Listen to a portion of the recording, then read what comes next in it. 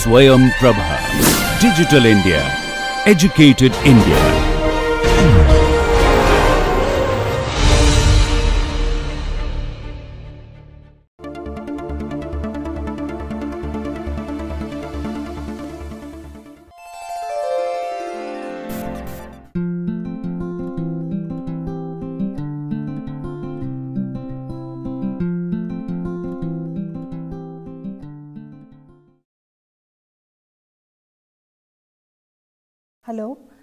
And welcome once again to the lecture series on cultural studies.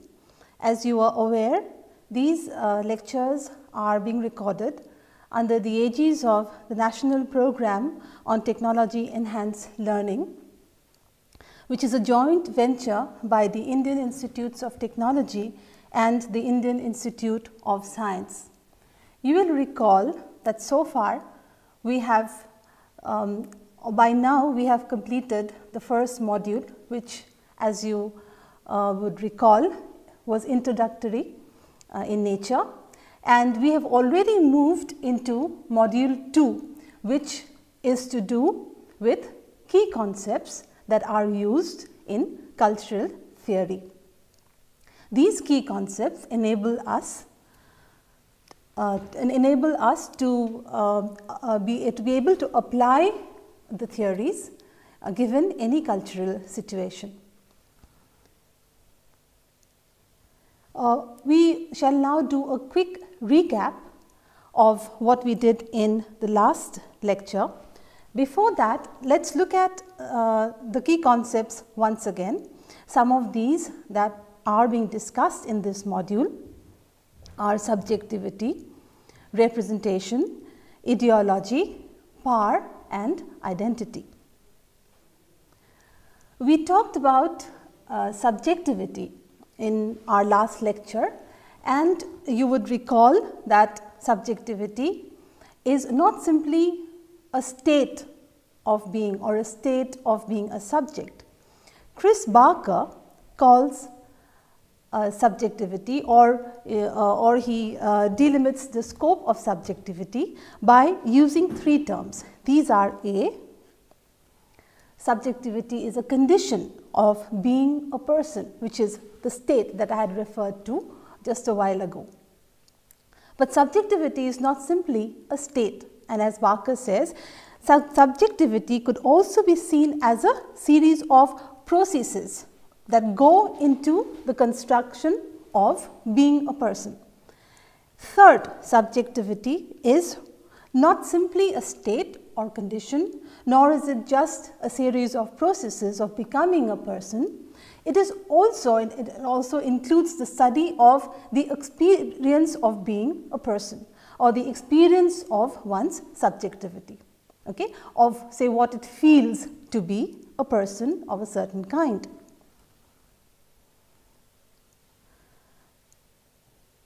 Identity we saw was a seminal concept that is used in cultural studies and uh, no um, uh, well no other concept really or no other domain of cultural studies.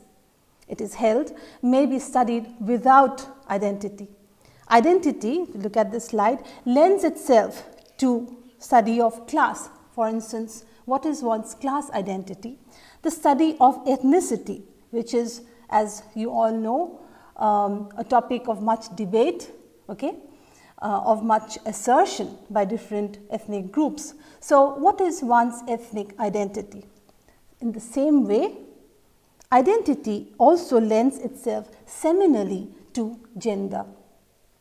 Okay. What is one's gender identity? How is one identified okay, as a gendered person and what does that identification entail or what does that identification tells you to do. Fourth, we look at this slide. One's racial identity is also seminal or central to an understanding of one's own self. Okay. You will also recall and which I maybe will talk about again remind you once again that there is a difference between subjectivity and identity. Among other things, one's sexuality, one's sexual orientation is also an identity. Okay?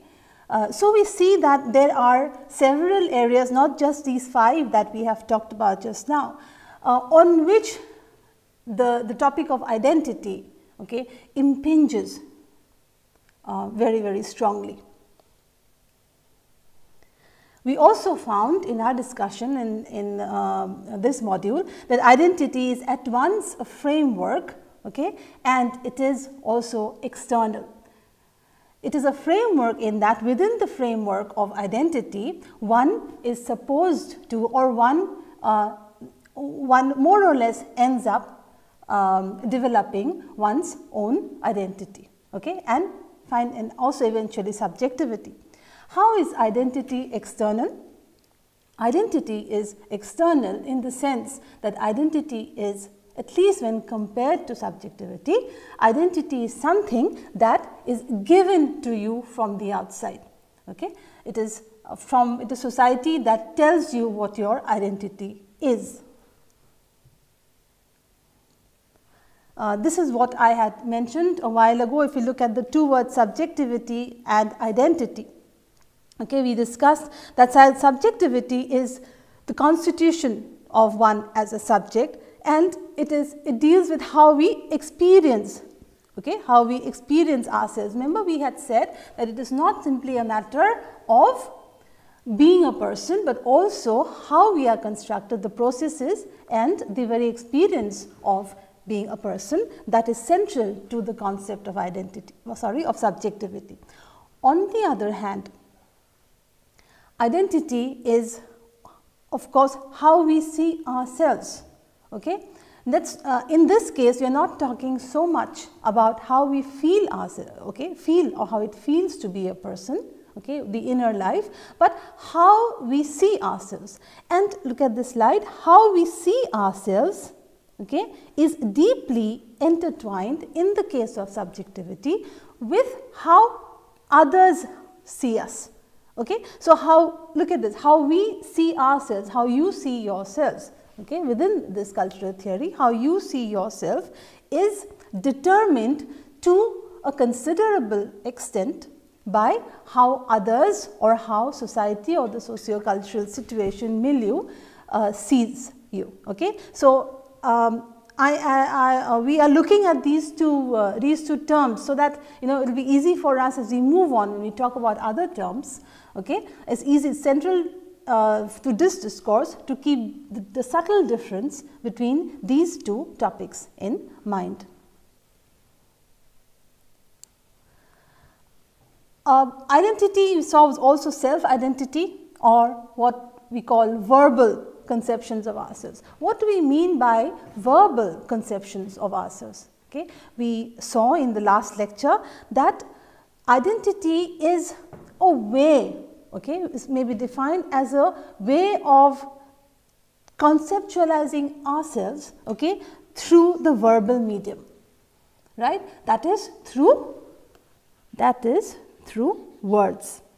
Okay. So, our self identity, our understanding of ourselves is how we conceptualize ourselves, how we articulate it. The moment we articulate ourselves, our self identity, we are using words and we are using a certain discourse. If you remember, we did look at the word discourse and we will be looking at the word discourse again in, in uh, uh, a couple of um, lectures from now. Okay. To therefore, to define yourself is uh, your self identity is to use certain words that proliferate in a certain discourse. This of course, the moment we talk about discourse, okay, we are automatically drawn to the social because it is the social that gives us the language. Okay. We are um, uh, we, we, uh, we are socialized uh, or we, we become social beings largely through the medium of language. We are, understand ourselves, we understand others through the medium of language. Okay? So, social identity is what we call others, okay, what we call others opinions or views of us. others' opinions of ourselves. The point to be really uh, uh, you know, uh, to, to, uh, to be really noted here is how the social and the private or the personal or the individual interrelate. Okay? We know now that our understanding A of ourselves, okay, our self identity depends on language and on words therefore on a discourse and that discourse is given to us by society. So, what does it mean? It means it means that we cannot have a conception of our own identity in isolation. Okay? We cannot have um, you know uh, what we call a solipsistic or a closed world in which we understand ourselves. Our understanding is deeply informed by the understanding of ourselves is deeply informed by the understanding or by what we may even say this is the word that we use the gaze okay or the look the look that is given to us by, uh, by uh, our social identities. Okay. You'll also recall that we, we, uh, we took a look at Barker's, um, you know, uh, um, uh, you know, some of Barker's formulations from his book Making Sense of Cultural Studies. I'll quickly read it so that you, you can recall it again. Barker says that the constitution of the subject as conceived by cultural studies may be studied under three, uh, three points. Now, A.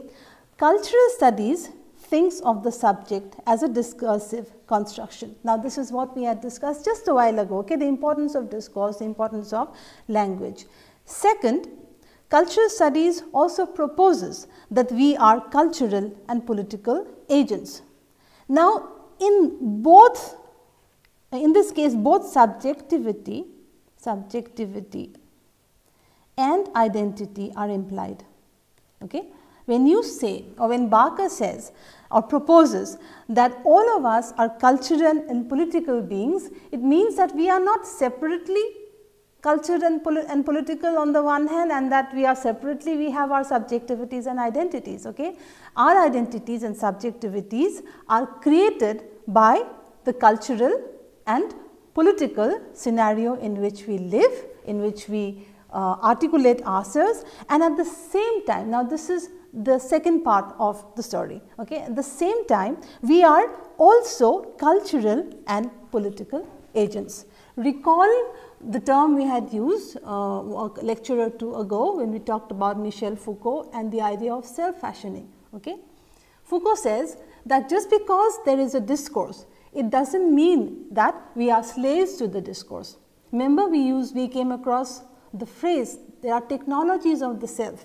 Okay? The very discourse in which you are embedded allows you to be an agent of your own articulation of your own subjectivity and identity. So, it is not you know just a one way process in which we are passive receivers of um, of, of the discourse and the identities and the subjectivities and that, and that they are given you know so to speak in a one way sort of traffic by society. Okay? We are on the other, other hand also to a large extent arbiters. Okay? We are scripters so to speak of our own subjectivities and identities. Now, third, now if you look at the slide, this is what Barker says. What is required therefore is the capacity. Now look at this word, the capacity for switching. Okay? So you have several discourses, remember the discourse of man for instance created, the discourse created by economics okay, uh, as homo economicus, the discourse created by religion as a different sort of a person an entity, the discourse created by, uh, uh, uh, by aesthetics, the discourse created by politics. So, Barker says from it is here that we have to negotiate our freedom. Okay? Now, let us read this again. What is required from us therefore is the capacity for switching or moving. Okay? Switching or moving between these languages as appropriate and according, this is very telling, according to our purposes. Okay, so on uh, when whenever required we may move there is a mobility from one discourse to the other. So, the, the situation therefore is not one is not a flat one dimensional one. Okay. There are several ways in which we can re-inscribe our identities and re-inscribe, rewrite so to speak our uh, subjectivities. Okay. So, I, um, I hope by now it is uh, you know it is clear to us okay, how these key concepts are to be used. Okay. You also recall what Anthony Giddens and we, uh, we, we said that Anthony Giddens is not really a cultural theorist, he is more of a sociologist. Okay. Anthony Giddens even says that identity could be a project. It is a project that one could uh, undertake. Remember, we we agree that we are not pass passive receivers, we are also agents or if I may use the word scriptors okay, of our subjectivities and identities and this could be undertaken as a project.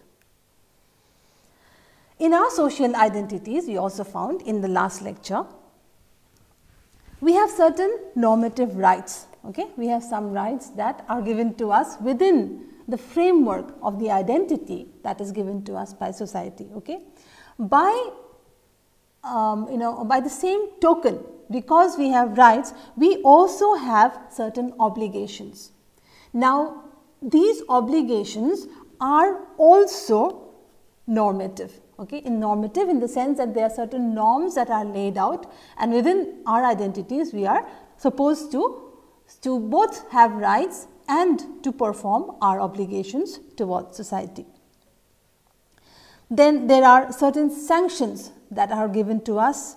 We are expected to play certain roles in society given again the framework of identity within which we operate and there are importantly certain markers that we wear okay, of our identity. Now, these markers are both physical markers okay, both tangible markers that you and I can see and at the same time they are also mental, intellectual, uh, even emotional markers. Okay. We may use the word symbols for this. There are certain symbols okay, which are the markers which carry our identity.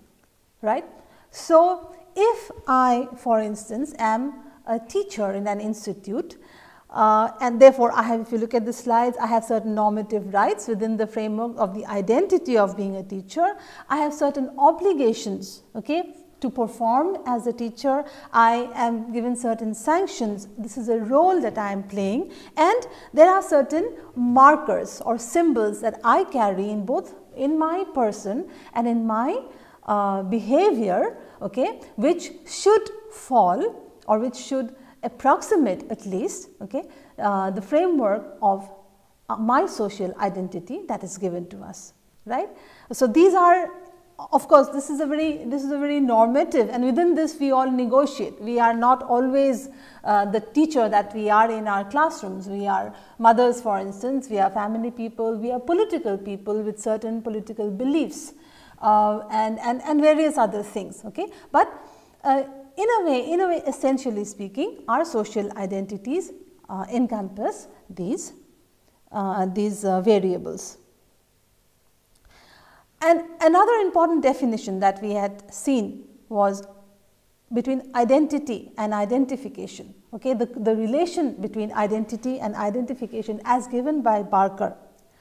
And look at this slide here, he says if you recall identity is an emotionally charged okay, description of ourselves. It is an emotionally charged. Why? Because we invest so much. Okay? Identity is something which is not devoid of any emo emotions. Okay? If I, I have an identity as a person belonging to a certain part of India or belonging to a certain community, okay, it is but natural that the markers, the symbols of that of my community, okay, the rights, the sanctions, roles of my um, identity as belonging to a certain community would be an emotional one. I would react or respond, respond emotionally uh, in a negative or positive way given the way people respond to my culture uh, and community. So, Barker as he says identity is an emotionally charged discursive as he said uh, saw earlier discursive or in language description of ourselves that is subject to change. Okay, identity is not once and for all given to us. Hall finally calls identity a temporary and arbitrary closure of meanings. Okay. Now, this is important because there is we see that there, it is an open road okay? and every time you describe society describes your identity or you describe your self identity remember that this is only this is the word here a temporary one it is only in even in time and both in time of course, in time and space it is a temporary um, a temporary closure of meanings. Okay? It is almost an arbitrary one, right? Arbitrary in the sense that uh, it is not uh, absolute, right? So, uh, identity therefore is a temporary and arbitrary closure of meanings and this closure will open up once we have we are in another temporal and spatial domain. Okay? Uh, this however, here Stuart Hall is not saying that we are one person today and another person tomorrow completely different. Okay? What he is referring to here is uh, the fact that this is negotiable. Okay? You can write the word here, it is negotiable. Right? Though we move there is freedom mobility to move within a certain framework. So, uh, sorry, um, our description in language is therefore plastic. Plastic here means flexible, okay? flexible, plastic and anti-essentialist in the sense that there is no one essence. Okay? We also saw uh, that the question of identity is important politically okay, to create again to recreate an essence. This is very interesting. You know, we theoretically we find that um, the uh, you know these theorists have given us these theorists have given us certain certain um, uh, certain premises or certain uh, you know certain uh, theoretical articulations in which essence can be done away with okay because we can negotiate but there is an interesting corollary here okay? Is that identity even if you know we, we go through the journey of such mobility of recreating ourselves identity can also look at this word recreate a sense okay? Just a while ago we were uh, we were happy with the fact that we are uh, you know we are not just slaves to what what identity is given to us by society. On the other hand, as seen in certain political uh, movements and ethnic movements, we find that um, it helps in the recreation of essence. We try to say what essentially does it mean to belong to a certain tribe, what essentially does it mean to be you know a teacher in an IIT, what essentially it means to be an Indian. And what do we do here? We we again reassert the signs and symbols, the tastes, look at these, the beliefs, the attitudes and the lifestyles of what it means to be uh, a member of a certain community or a tribe or, or uh, you know um, a certain profession. Okay? So, there is almost a dialectic here. The point is we are at once free and the moment we realize that we are free at a certain moment we come back and try to recreate ourselves and again come back into and, and to articulate our essences. So, this is you know the problematic and there are as in cultural studies and in the humanities in, in, in um, particular no clear cut answers. Our job is to problematize, our job is to show the sophistication, the complexity of what it means to live certain lives. So, fine, this is um, what we did by way of uh, you know discussing what went just before this lecture. Uh, I would be devoting two lectures to the topic of ideology, because ideology like identity is again we almost say the pil uh, a pillar of cultural studies. Okay, it is a theoretical conceptual pillar of uh, cultural studies.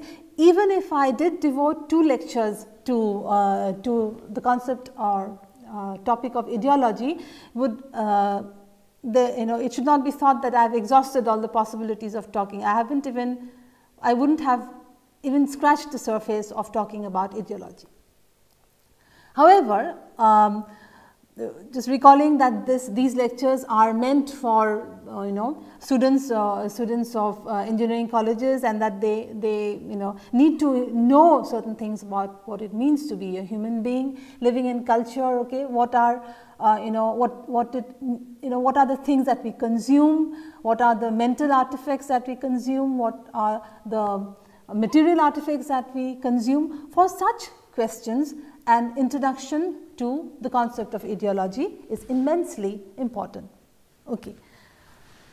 Now, we will go back to perhaps what was our first lecture. Okay. We, I need to bring a slide from my first lecture and to remind you that what we are doing here is new cultural studies. New cultural studies in the sense that we are not, we have come away largely from the old anthropological focus on culture as um, a way of life, of, study, of, of studying uh, you know the different habits of people etc. We are in a domain uh, which uh, in which words like power, okay, in which words like conflict, in which words like identity, subjectivity, ideology, okay, discourse um, are given more importance than in the old way of doing cultural studies. Okay.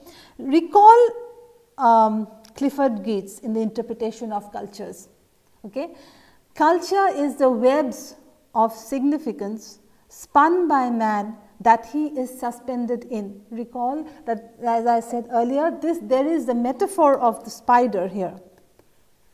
Okay? Look at the word webs, right? Suspended in, spun. He's using the metaphor of, of the spider here and says that we spin, okay, we spin culture ourselves. It is we who are the creators of culture. Okay? And interestingly, we are both the sort of spinners of culture and we are also suspended in that web. Now, here the word suspended also carries the nuances of being trapped, so to speak okay? Slightly there is a nuance of being trapped. We are the spinners of our culture and we are also trapped in it. And most importantly is this phrase in, in uh, that is highlighted. Uh, culture is the webs of what is the most important word here? Significance. What is significance? Significance here means meaning. Okay? So the networks or the webs of meaning and value that we created is essentially what culture is in the new way of looking at cultural studies. Okay, so let me read it once again. Culture is a webs of significance spun by man that he is suspended in. Okay, Clifford Geertz in the interpretation of cultures.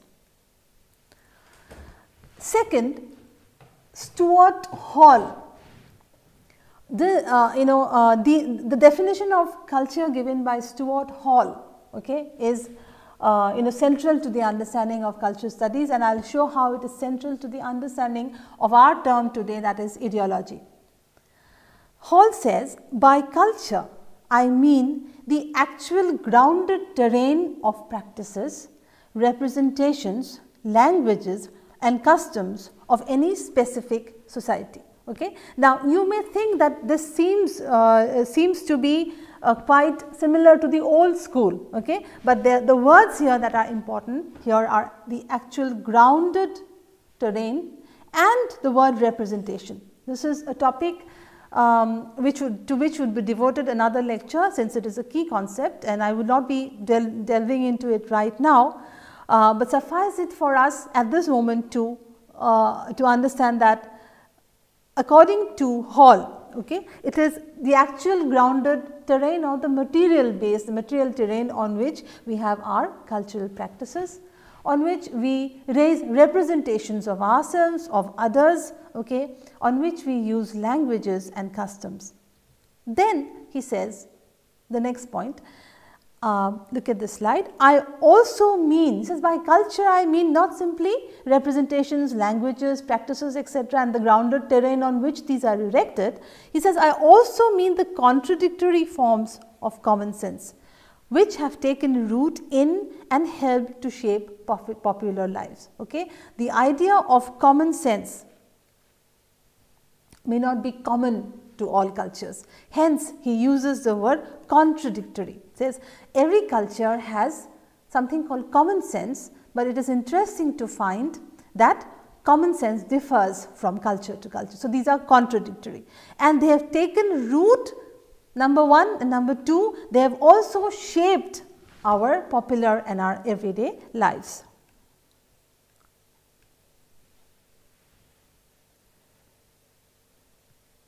Culture is not a given. Now, if you look at you know the uh, let us look at the um, the four you know the four key sentences or key you could say propositions of the course that we are doing. Culture is not a given, it is constructed and hence can be studied systematically. Culture is not absolute or static, but changing and dynamic and there are reasons and forces example political economy behind cultural changes and power is the chief arbiter of the kind of lives we lead. Now, these four sentences as we look you know, it is important for us to keep these in mind as we go into the study of ideology. It is interesting that you know the whole domain of cultural studies as Barker says may even be renamed ideological studies. Again such is the importance of the term ideology in cultural studies. Now this is Chris Barker in the Sage Dictionary of Cultural Studies he says, so influential has the concept of ideology been within cultural studies that the whole field was once dubbed ideological studies. Okay? Fine. Now, let us look carefully at a few phrases which may be used as definitions of ideology. When you look at the variety of what you know variety of ideas that are given by these phrases, uh, you have an idea, you have an inkling of how much goes into an understanding of ideology. The fact that the word ideology is a loaded one. Okay? It serves uh, several purposes in several analysis of culture and society and we need to have a look at them. Well, number 1, ideology is a set of ideas. Okay. Ideology is a certain ideas or a set of ideas that you hold okay, in your mind right. They are also a set of not just ideas, but ideals. Okay. We all know the difference between ideas and ideals. Ideals are what we hold to be of great value okay, that are to be emulated right um, that are uh, you know um, that are things that should be our goal as people living in a culture in an, our society. Okay. So, the first by the going by the first definition of ideology we find that ideology is both a set of ideas that we hold in our minds which go on to determine our activities. After all our activities, our behavior as so called you know normal and consistent uh, personalities okay, are based on a set of ideas regarding the world. Okay, more about this a while later and as we saw also these are a set or a collection of ideals or things of of considerable value that we must pursue as our goals. Okay. Second, ideology is also defined as a world view. Okay, there is a word uh, in German, uh, which many of you might know is Weltanschauung or which means a worldview, meaning ideology is how you perceive the world, okay? a world literally a view of the world okay, how you view the world. Hmm? So, this worldview again is a result of what or how has it been built. The worldview as we see was built or has been built or is built by the set of ideas preceding this definition. Okay, number 1 the set of ideas that we hold. Number 3 it is also a consciousness, right, which means that there is a certain uh, here consciousness means a certain awareness, a certain way of looking at the world. But this consciousness is not something that simply drops from the heavens or something that we arbitrarily uh, you know uh, use for ourselves. It is important and look at this word here please that it is a received consciousness. Okay? You may think that the you know this the set of ideas or the worldview you have is completely your own of your own making something that you have sort of chosen. Okay? But it is important to see going by this definition of ideology that it is a consciousness awareness of the world all right, but it is a look at this word it is a received one okay, which means that it is it is not something which is totally your own construction. It is received obviously by what? It is received received from us by culture. Next, it is also called a body of doctrine. Ideology is also called a body of doctrine. Now, this is used you know mostly in uh, in in um, certain uh, what should we say? In certain uh, uh, cases or when we talk about rules okay? Strict rules to be followed which are you know which almost became doctrinaire and it is mostly used in the case of um, of religion okay? Uh, that there are certain rules by which you abide which are doctrinaire. These rules are doctrinaire okay and we are to it is a whole body of knowledge a body of doctrines that we follow. Next ideology is also called a systematic body of concepts. It is not that it is simply a collection we saw, saw in the first definition the set of ideas. It is not uh, it is a set of ideas all right, a set of concepts all right, but it is important to understand it is not a haphazard chaotic kind of a collection of ideas and concepts. It is a systematic one. Now, what do we mean by a systematic one? Okay? Here it means that the ideas that we have talked about and the concepts that we talk about cohere you know in a consistent, in a rational in a logical sort of way, rational and logical I, by, by, that I mean to the system that they are creating. Then they create. So, it seems uh, it, it is it is um, not uh, not possible or it is not not preferable to have to hold contradictory ideas. Okay. So, these when ideas cohere to form a certain system okay, which, which looks all, to be consistent on its own, we also call it an ideology. Hence, ideology is a systematic body of concepts. So, I hope you have understood what it means by systematic, okay, that is not random, not arbitrary, not chaotic, but it is consistent to the body of beliefs that it creates. Next, ideology is also a manner of thinking. Here manner of thinking means a way of thinking. Obviously, if you hold a certain uh, systematic collection of ideas of concepts, okay, if you have a world view, if you have a consciousness however received, okay, if you have a body uh, that, that becomes almost a doctrine, if you have a body of concepts that are systematic, obviously you would have a certain way of thinking. Okay? And how is this way of thinking determined? This way of thinking is determined by all these have that have gone before this. Okay? The ideas uh, cohering together, being consistent, creating a certain consciousness, okay, being um, you know a whole body of concepts etc. These are what go into a certain way, a certain style so to speak of your thinking. Finally, and also um, and not the least important is maps of meaning. Okay? Ideology is also defined as maps of meaning. Now, how is the word maps used here?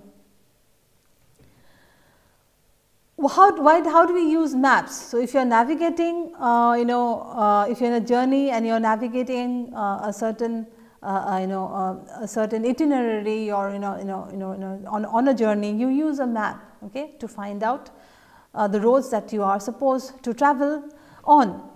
In the same way, okay, uh, ideology is, is also like a map Now, it is a map to what? It is not a map to a certain physical geographical destination. Okay? It is a map to the creation of meaning. Okay? And I think this last definition of ideology is the one that is most important uh, to our understanding of cultural studies, from the understanding of culture and what we call the new way of doing cultural studies. They are maps of meaning, they are pointers to meaning.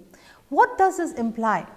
You know, if we to follow from this, what does it mean? It means that your set of beliefs, okay, or your set of what we have here ideas and your worldview is therefore also going to determine the meaning since they are the maps, okay, they are the pointers to meaning.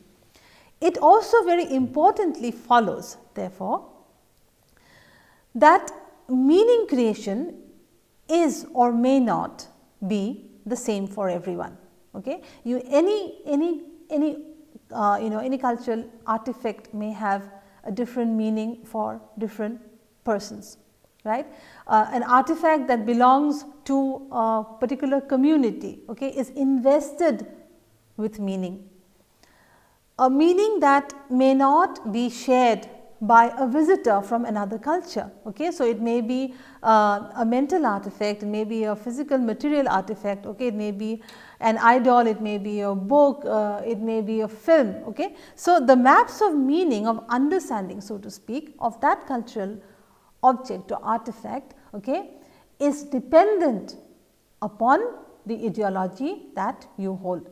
Okay. And this is something that you cannot overstate. It is very important for us to, under, to understand these, uh, particularly the last implication. Therefore, these are the terms quickly that we found that Ideology may be called a worldview, a consciousness, doctrine, ideas and maps. It is important, important for us to remember these, you know, these individual words. So, that every time we talk about ideology, we are not somehow, we do not fall into the trap of talking only of one of the various nuances of important nuances of the term ideology. Um, therefore, ideology may be conveniently okay, as a first uh, definition be called a set of beliefs. And it is also called let us look at the word here. It is also called lenses okay? The certain uh, way of looking at the world is like wearing a certain lenses. And um, you may change those lenses okay? You can look at your own community sorry at your own identity through the lenses of somebody else somebody else's ideology okay, or somebody uh, else may look at your own uh, identity, culture, subjectivity even okay, uh, by wearing uh, you know uh, so, so to speak the cultural lenses that you are habituated to. So, there is there may, may be what we call an exchange of ideologies or worldviews which is a good thing. So, that you are not trapped within one set of ideas or one set of concepts um, that may even go on to become a doctrinaire. Okay doctrinal way of looking at things. Of course, uh, there should not be too much play here. As the postmodernists uh, as some some people say is the bane of postmodernism okay? But there should be a responsible right? A responsible moving in and out of of different ideologies. So that you perceive the world in different ways and you are not caught up in any one ideology. Now how this takes us to another very important question. How uh, you know how are um, how are ideologies institutionalized? You know how do ideologies come to us? And we can talk about three institutionalized processes, okay, or rather three processes of institutionalization, of socialization, if you like, of ideology, okay. And they are these three that ideology or the set of values. Remember we had said that this is not something that you create or I create on my own or on your own. It is what remember we said a received consciousness. Now this received consciousness is A produced okay, by a given culture, B it is distributed through certain cultural actual material cultural artifacts and C it is consumed by us. Okay? So, this is a, a very important point here that we have to see how these have been uh, uh, how they are received in the first place. Okay? The, now, you are I know already thinking of well if it is produced then it is produced by whom. Okay? If it is distributed it is distributed by whom and if it is consumed it is consumed by whom. Okay? So, this is something that we will come to a little while later. Um, therefore, it is important for us to remember that ideology, uh, the consumption of ideology uh, you know is um, or comes to us from uh, a the production of ideology and the distribution of ideology. Now, when we talk uh, I would like to end with uh, you know um, uh, this point for the first part of this is when we talk about ideologies and we say that ideology is a way you know uh, is a way of looking at the world then it logically follows okay, that in our political arrangements, in the way our political lives are organized uh, in our cultures, okay, is deeply tied to the concept of ideology. So much so that we can uh, we have the term called political ideologies. Now, by itself the phrase or the term political ideology would obviously mean what? That these are ways of seeing the world, okay. the ways of uh, you know understanding what life is, of understanding what the world is and of understanding what our place in the world is from a political point of view. Okay. Now, by political here we simply we do not simply mean the vote. Okay. We know by now that the word politics the word politics is deeply entwined with, an, with another word which is to do with power. So, we may ask this in a different way. Okay.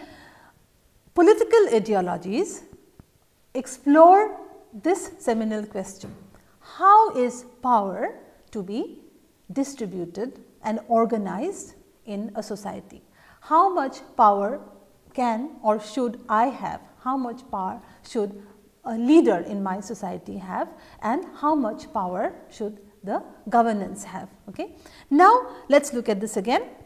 Political ideologies have as their goal an exploration of what is what every ideology feels is the ideal way, okay, the best way right, the optimum or the optimal way so to speak of organizing a society. How should we organize a society?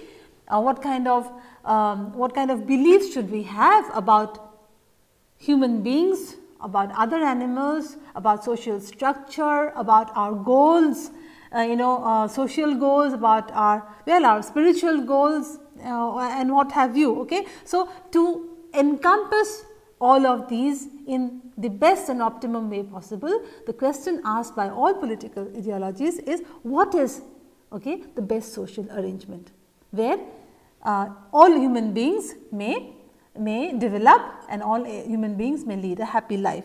Okay.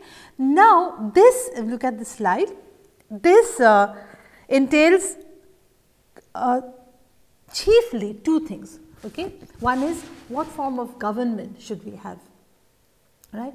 Um, what what are uh, what are what is the what is the ideology that a particular government should have and secondly since economics is ultimately the determinant at least in a, in a, from a Marxist perspective the determinant of so many things in our lives what are the economic policies that we should have okay so coming to this again what are political ideologies? Political ideologies are are uh, you know attempts to carve out a, a, an ideal and the best way of organizing ourselves as a polity okay, in which are in which two things are very important. One is of governance and one is of economic policies.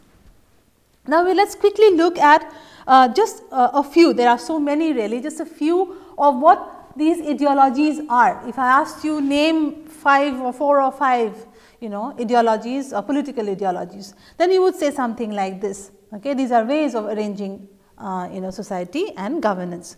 Liberalism. Liberalism is a political ideology.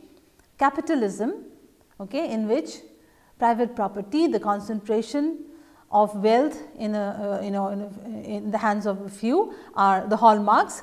Capitalism is an ideology. So, is communism which is its reverse that is the um, you know a belief that or a worldview in which there should not be private property or the property should be wealth should be in a society should be equally divided among all its workers. Then number 4 environmentalism, it, this would be a political ideology in which a major onus or focus or weight is given to the environment okay? And which is of as all of us know is uh, a crucial question today. Feminism or um, equal rights so to speak in a, of course in a very simplistic sort of way equal rights to people to, uh, to, uh, to women um, along you know uh, as is given by, given to men uh, uh, is an important factor and uh, anarchism which is um, essentially a belief in um, in a society where there is no state okay and uh, is also another political ideology. So, the, this my first lecture was you know uh, on ideology was really opening up the important um, you know the other important concepts and slightly delineating the scope of that. Okay. Fine. Now, um, we wrap up this lecture by asking uh, just one or two questions on what we have uh, you know be, been through till now. If you get a question like this, enumerate the various ways in which ideology may be defined or understood. We have I think dealt uh, quite at length at uh, you know the nuances of uh, the term and uh, the, the various entailments of the term ideology, you would then write an answer depending on the you know the, the weightage of the marks, you would write an answer which would encompass these points and we learned that ideology may be defined in several ways and a few important ways are enumerated here that is ideology is a set of ideas and also a set of ideals uh, it is a worldview or as we said this is what, what in German is called Weltanschauung. It is a received consciousness meaning it is not just an awareness that we think we have developed, it is an illusion to think that we have developed it ourselves. It is received okay, usually in, uh, you know uh, usually in by the society and culture that we live in received through media, received through through our seniors, received through books etc. Okay? It is a body of doctrine in the sense that it, ideology may go on as in we find in religion to be quite doctrinaire okay, or sometimes even rigid in its in its rules. It is a body of doc, uh, sorry concepts that is systematic. Uh, remember to focus on the term systematic that is they cohere to form a system. It is a manner of thinking, a way of thinking which is determined by all that has gone before this and most importantly ideology is, ideology is uh, something that goes into creating meaning and so much so that we call it maps of meaning. They are pointers to meaning creation.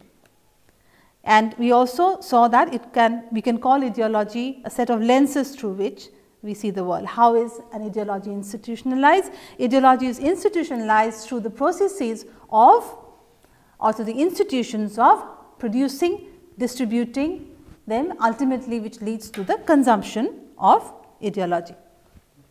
So, well um, this is the end of part 1 of uh, ideology and I would uh, then have uh, maybe a, one lecture and if well if I find it necessary we even go on to a third lecture uh, because there is a lot of material that I need to do and remember cultural studies was at one point of time called ideological studies and such is the importance of ideology.